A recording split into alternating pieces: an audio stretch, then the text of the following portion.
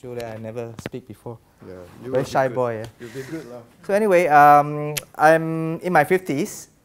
Uh, all along, I've been working in the banking sector after I graduated from Australia in Melbourne. I should have had a father like that. lah. So tell me don't come back. but I, I'm also school in economics.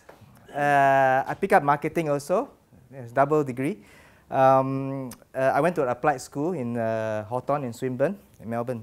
It was a great time work, uh, growing up there. Uh, I never knew what was socialism. I'm going to come back to you later. And I'll tell you, socialism is, uh, somebody asked about socialism, right? It is not, um, it is not uh, communism. Yeah? I grew up in the 60s where commun- communalism, not communism, huh? communalism is part and parcel of uh, what you were saying, sharing food and all that, you know. Um, my mother kicked me to Alexandra Village because I'm fighting my brothers in Victoria Street a lot. So when I grew up there, I was able to see for myself, you know, how people share. And, and I tell you, in 1967, 68, uh, all the way to 74, 75, that was in my mind for a long time. And when we changed, I long for those days. Even since, since I was a primary school kid, I long for those days again because I, we lost the kampong, you know, you know Alexandra Village. It's called ABC there.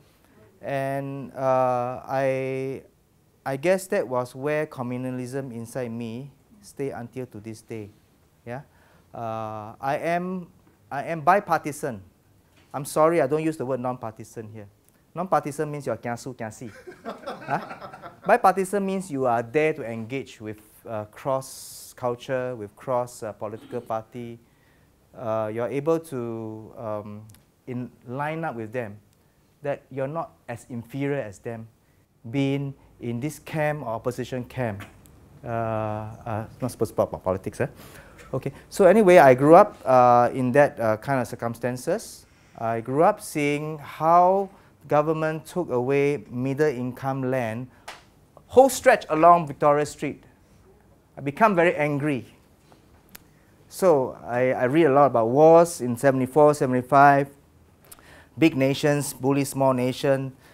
I become very politically ingrained.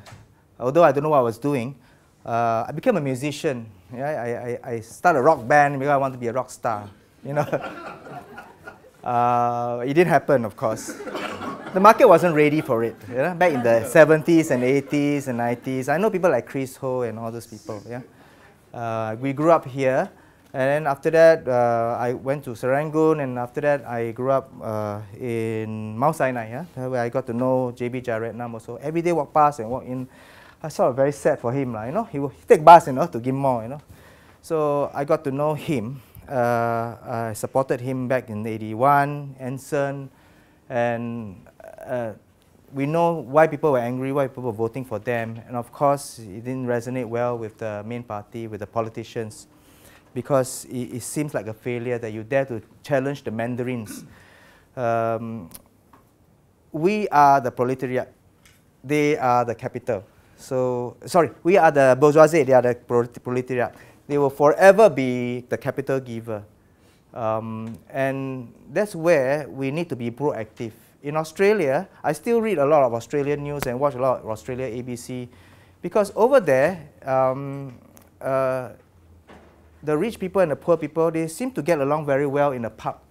They dare to mix around like that. Yeah. But over here, we, we are worried to be seen.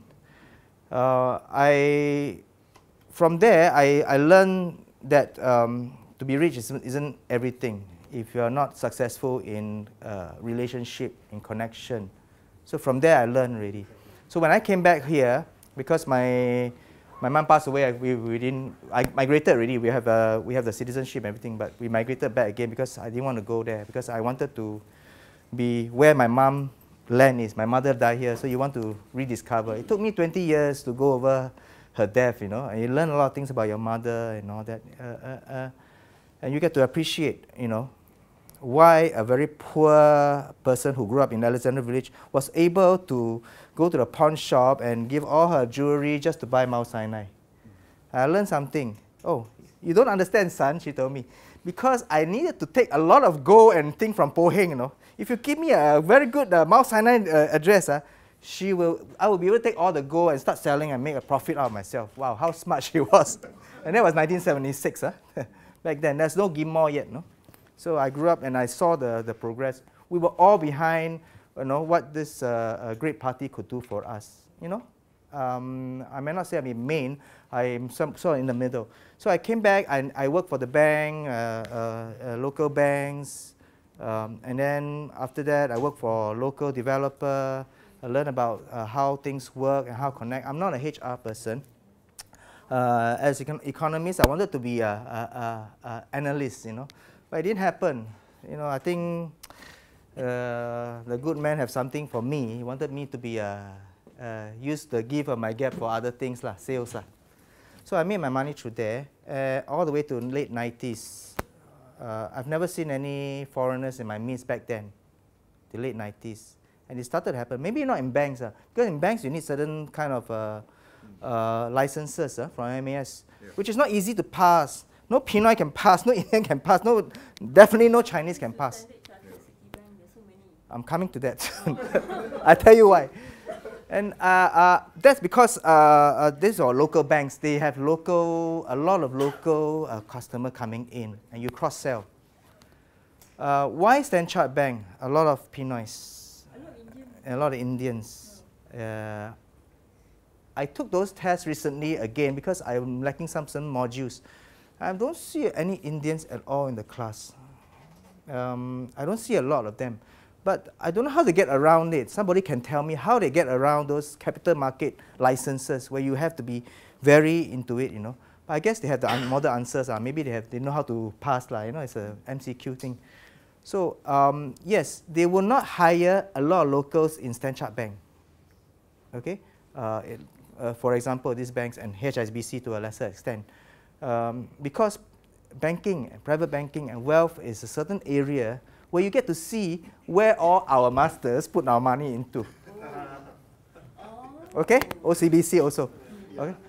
I worked in a Malaysian bank uh, after, after uh, mid 2000 when the crisis came, 2008. Gosh, I cannot make money myself. From 98 all the way to 2008, I was on my own. I'm independent financial advisor. So uh, they changed the rules along the way, CPF and all that. So a lot of people uh, cannot take money out CPF to invest.